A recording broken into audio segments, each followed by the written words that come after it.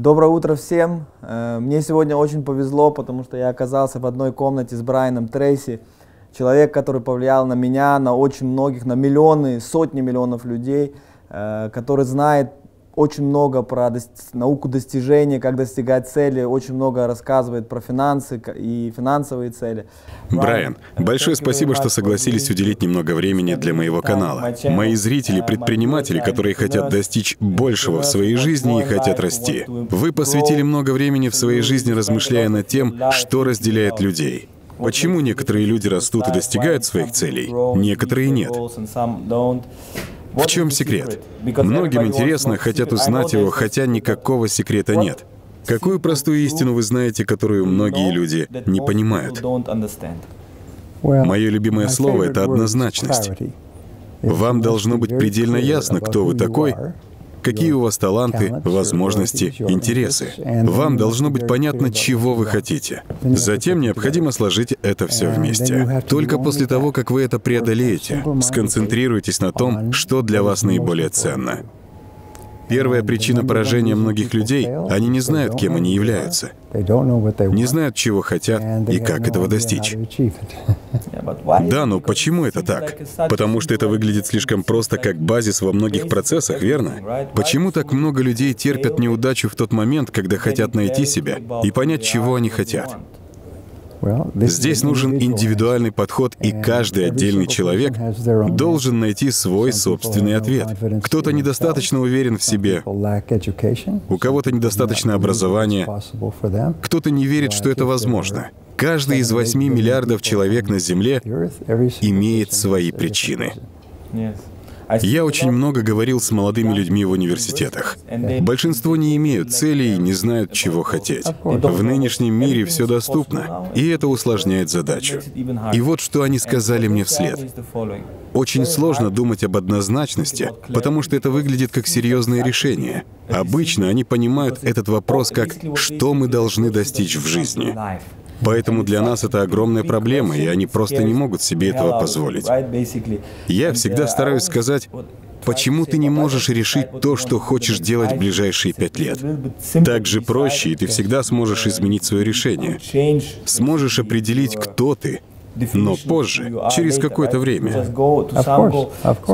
Что ты думаешь о том, стоит ли людям строить планы на всю свою жизнь или выбирать какой-то период для постановки целей? Вопрос из разряда «как съесть слона?» И ответ — один укус за раз. То есть, как прожить эту жизнь? Живите каждым днем. Вы принимаете решение на сегодня или на следующую неделю и затем получаете новую информацию, и принимаете совершенно другие решения. В прошлом веке проводились исследования о тех качествах, которые будут наиболее ценными и важными для того, чтобы достичь успеха в 21 веке. И первое заключенное свойство была гибкость. То есть, если быть уверенным в том, что ты хочешь сегодня и не иметь лишней информации, люди захотят меняться и попробовать что-то другое. И будут продолжать пытаться искать что-то до тех пор, пока не найдут то, от чего получают удовольствие больше всего. То, что они делают хорошо, и то, что меняет жизнь других людей. Но может все измениться, и вы можете потратить многие свои ресурсы, секреты, которые не хотели раскрывать. 80% людей никогда не используют того, что учили в школе, когда начинают свою жизнь. Они не используют и не применяют ценность этих вещей. Они должны начать сначала и сделать что-то совершенно другое. Это же возможно, верно? Конечно. Многие люди, прежде всего студенты, молодые люди, мозг не прекращает формироваться до достижения 25 лет. Мозг постоянно растет, что дает возможность рассуждать. Но существует кредит возможностей мышления, который отрезает все, что будет после 25 лет. Если вы не задумывались об этом до 25 лет, считайте, что надели маску. Что я должен сделать со своей жизнью, когда тебе всегда 23 года? Это глупый вопрос, я знаю об этом. Да, конечно. У меня есть друг, в прошлом один из ведущих ученых в СССР. После развала Советского Союза он стал предпринимателем. Полностью переосмыслил свою жизнь. Раньше он полагал, что будет ученым всю свою жизнь, но потом стал бизнесменом. Вошел в десятку лучших бизнесменов России. И после этого он задался вопросом, хорошо, кем еще я могу стать? Так он начал свою спортивную карьеру. Начал побеждать на мировых соревнованиях по триатлону. Он сказал, каждый день ты можешь принять решение, кем еще ты хочешь стать. Твое прошлое не является твоим будущим. Человек способен в любой момент кардинально изменить свое направление осознать новое. Да, у вас могут измениться взгляды, но самое важное — это слушать зов сердца, делать то, что делает вас счастливым, что помогает выбрать направление,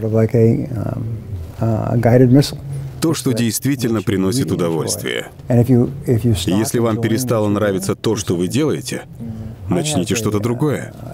У меня есть фишка, которую я придумал. Люди используют во всем мире на баннерах мое резюме, и в нем говорится, неважно, кто ты и откуда ты приехал. Имеет значение только то, куда ты идешь. Однажды вы сможете провести линию под своим прошлым и сделать что-то другое.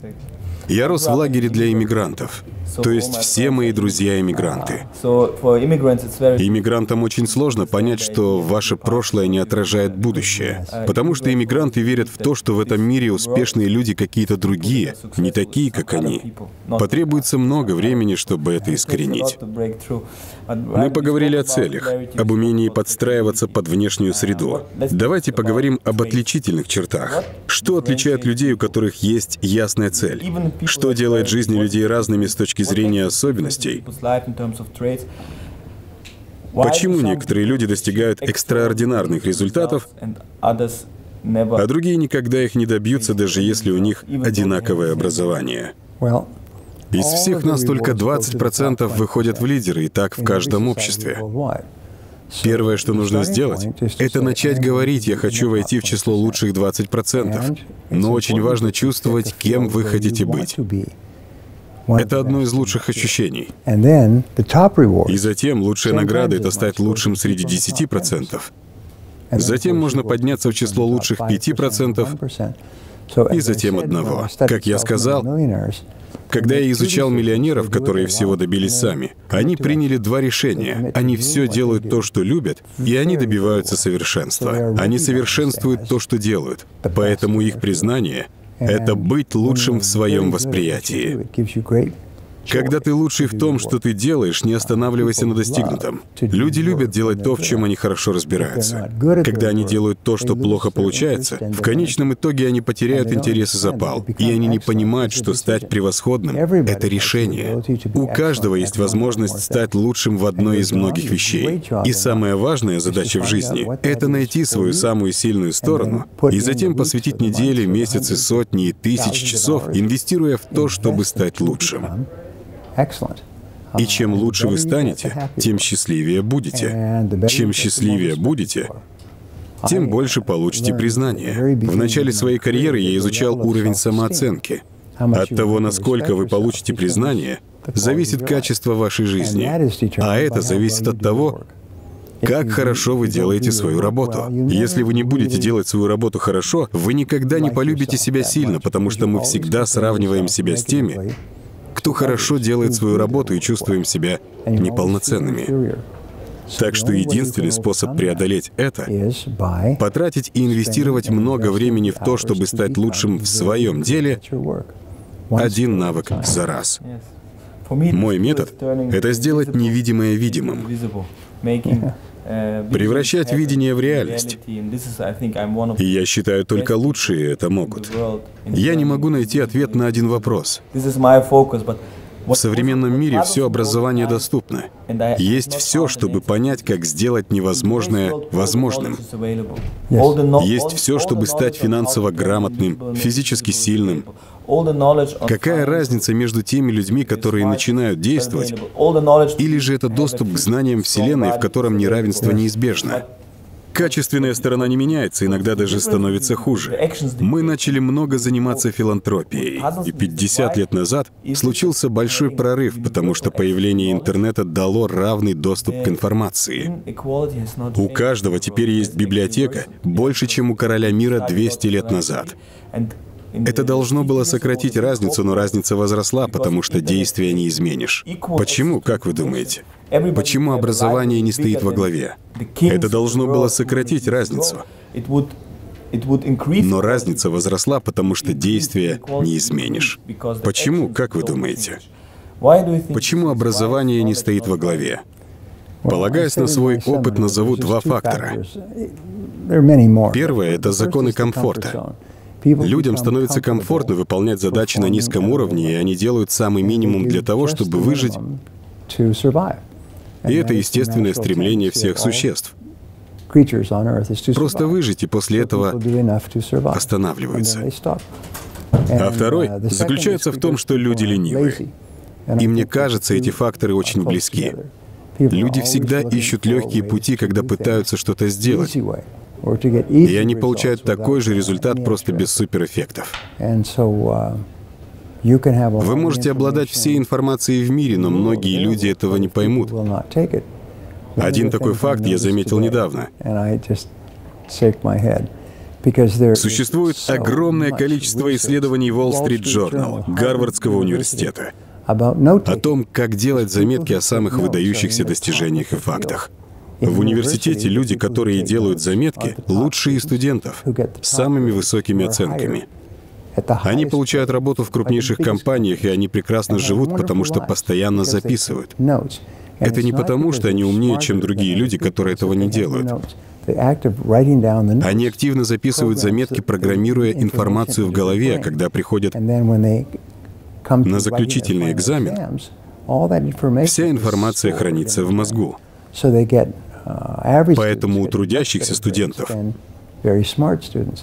Оценки гораздо лучше, чем у умных. Сохраните это предложение. Думайте на бумаге. Записывайте.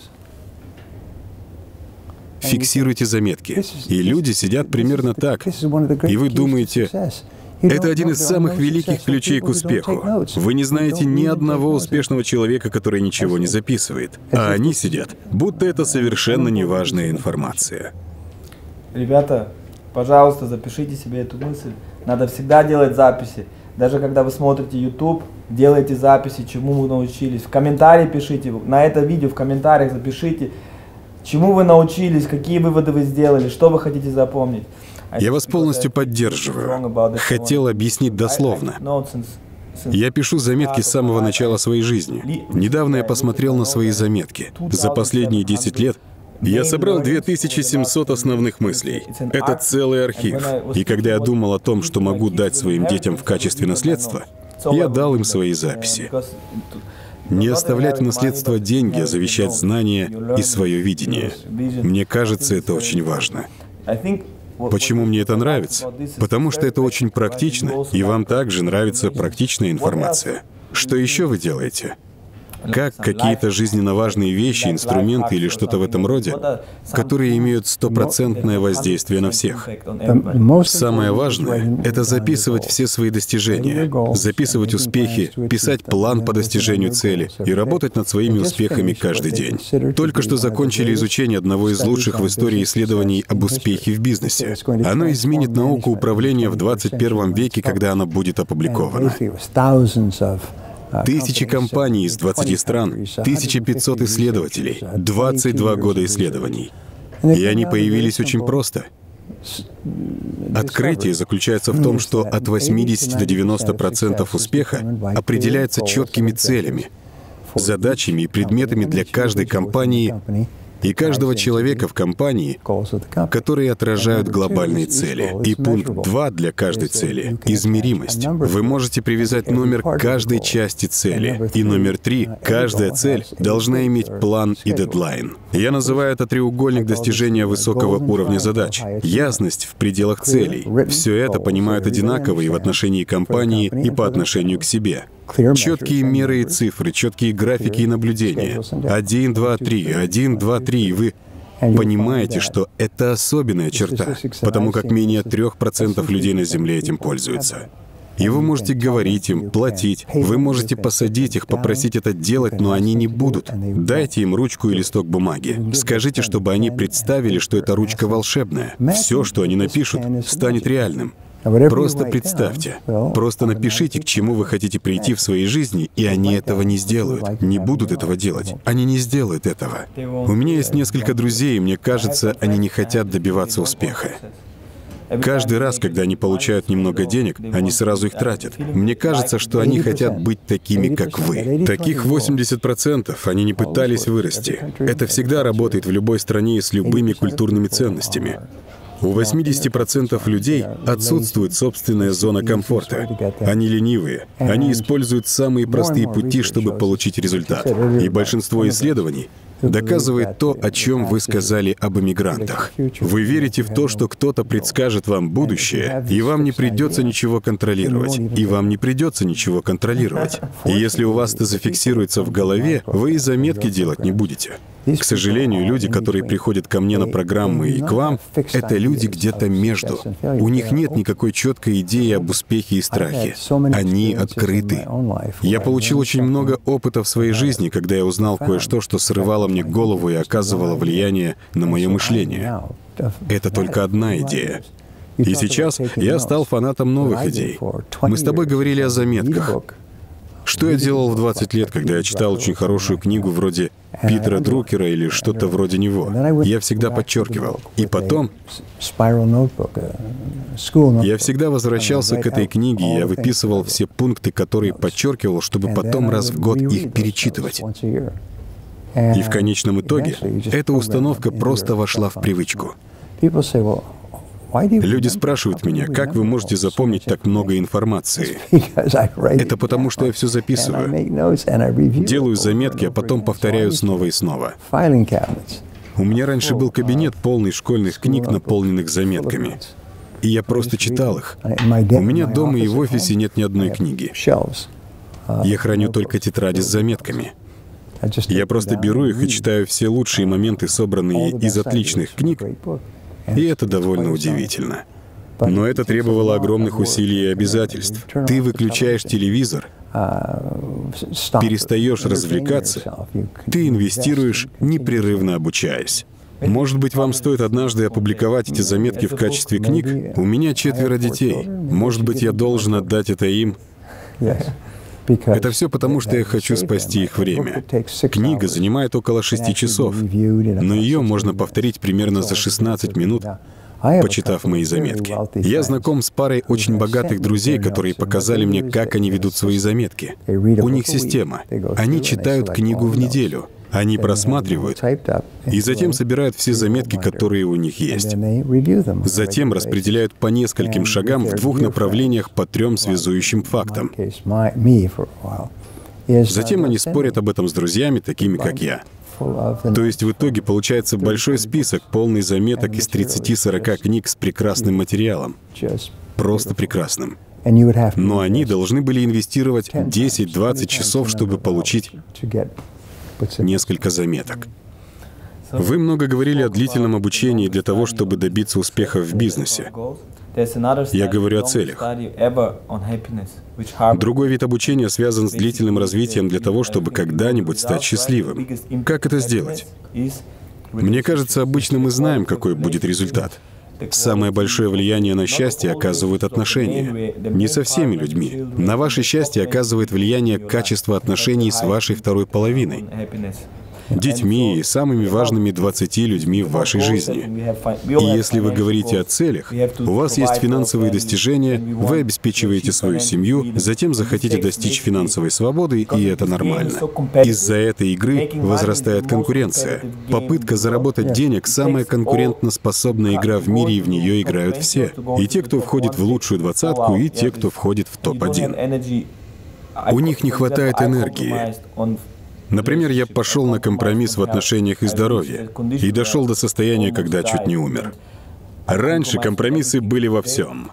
Но сегодня я начинаю ставить важные задачи. Я планирую задачи в отношениях, у меня есть цели по здоровью и жизненной энергии, цели на благотворительность. И, конечно, финансовая основа, чтобы иметь возможность производить новые ценности. Что вы думаете о компромиссе в этих отношениях? Когда вы в конечном итоге начинаете ставить цели в... Если вы начнете читать все книги в этом мире, начнете следовать советам, которые вам дают, вы приобретете более сбалансированную жизнь. У вас не получится стать самым богатым человеком Вавилона. Потому что самый богатый человек в Вавилоне должен быть сфокусирован только на одной вещи. Что вы думаете о постановке целей? Как ими управлять? Как я уже говорил ранее, на 8 миллиардов людей 8 миллиардов ответов. Самое главное, если вы счастливы, вы будете счастливы и со своим набором целей. Если вы собираетесь убрать душное пятно из своей жизни, вы ставите приоритеты. И другие люди вправе сделать свой собственный выбор. Когда я женился, мне было 35 лет. И в тот момент я был уверен, что самый важный человек для меня — это моя жена, и после этого мои дети, а все остальные вещи второстепенные. И я всегда жертвовал чем-то другим ради жены и детей, и никаких компромиссов. Именно поэтому у нас прекрасные отношения. Именно поэтому, что я поставил себе установку, я освобожден, хотя работал усердно долгие часы и проводил, изучая разные предметы и так далее. Но я всегда знал, что стоит в основе. И вы правы, это отношения. И ничего ни разу не изменилось на протяжении 39 лет. Ничего не менялось 39 лет. Всегда все однозначно. И моя семья может подтвердить, это чистая правда. Тогда все возникло по большей части из-за них. Да, я думаю, это было самым длинным уроком в мире. Это все в очередной раз доказывает, что это вселенская правда, правда человечества, если вы Homo sapiens. Отношения влияют на ваше счастье. Также я бы хотел сказать, раньше я должен был водить свою дочку в школу. Я должен был идти домой. Сейчас я хочу сказать, что я хочу, хочу забирать свою дочь. Когда я отменяю встречу, я скажу, что я хочу забрать свою дочь. У меня трое детей, и я хочу пойти домой. Когда люди меня спрашивают в 11 часов ночи насчет ночной встречи, я скажу нет, я хочу поехать домой. Чтобы слушать себя, необходимо иметь мужество и уверенность. Скажи это то, что я хочу делать, и делай это. А если кто-то несчастлив, это нормально. Я учил Апомею. Это игра. Много лет назад так называли место, окружающее Бержерак.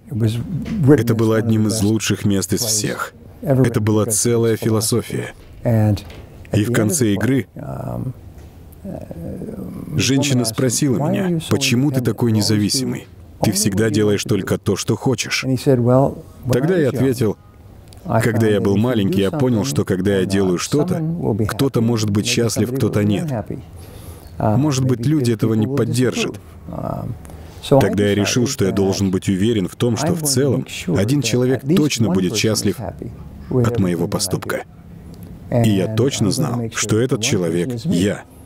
Счастливы другие люди или несчастны — это их проблема. Я рассказал это своим собственным детям, и я проверял это на практике всю свою жизнь. Самая важная задача — это сделать счастливым себя самого. Убедитесь, что один человек удовлетворен. Я научил этому своих детей. Все то, от чего кто-либо другой думает отказаться, убедитесь, что вы будете довольны результатом. И моя жена всегда говорила, что вы всегда сможете все изменить. Если вы несчастны, подумайте о другом, но убедитесь, что хотя бы одного человека, это решение сделает счастливым. И этот человек вы. Звучит эгоистично. Эти взгляды очень сильно отличаются от германской культуры. Это выглядит слишком расчетливо. Да, но когда я работал в такой среде, я понял. Вы не можете отказаться от того, чего у вас еще нет. Люди несчастны, потому что они говорят, я несчастлив в этой ситуации. Но, по крайней мере, моя семья будет счастлива. Или другие люди будут счастливы. Это похоже на приношение себя в жертву. Ты будешь жертвовать своим счастьем ради других. Есть один инсайт. Вы не можете отдавать другим то, чего сами еще не достигли. Если вы несчастны, вы не сможете делиться счастьем с другими. Так что моя великая цель в жизни — это убедиться, что моя жена счастлива, и мои дети будут счастливы. Они поженятся с чудесными людьми, и все будут счастливы. По детям всегда можно сказать, как сильно их любят. И если это хорошая компания, все люди вокруг будут смеяться. Если вы в хорошей семье, люди также будут всегда радоваться. Маленькие детки всегда смеются. Это и дает понять, что вы счастливы.